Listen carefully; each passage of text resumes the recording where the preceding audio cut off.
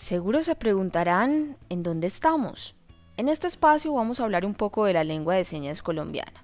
Vamos, les voy a enseñar algo. Miren aquí.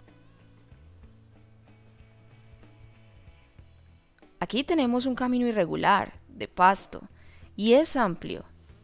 Por otro lado, observen acá. Esta es una calle lisa, un carril exclusivo para las bicicletas, más conocida como la ciclorruta. ¿Pudieron ver la diferencia en la lengua de señas cuando hablé del uno y del otro? ¿Notaron mi expresión facial? ¿Cómo es que la expresión hace parte de la lengua de señas? ¿Quieres aprender más? Ah, estás interesado en aprender lengua de señas.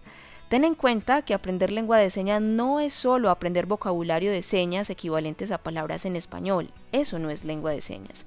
La lengua de señas tiene otros elementos como son la expresión facial, el uso del espacio tridimensional, entre otros componentes para expresarse de forma natural.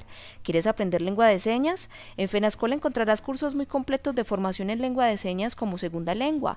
Si te interesa, vamos, ponte en contacto con nosotros. Estos son nuestros canales de atención. Contáctanos. Vamos.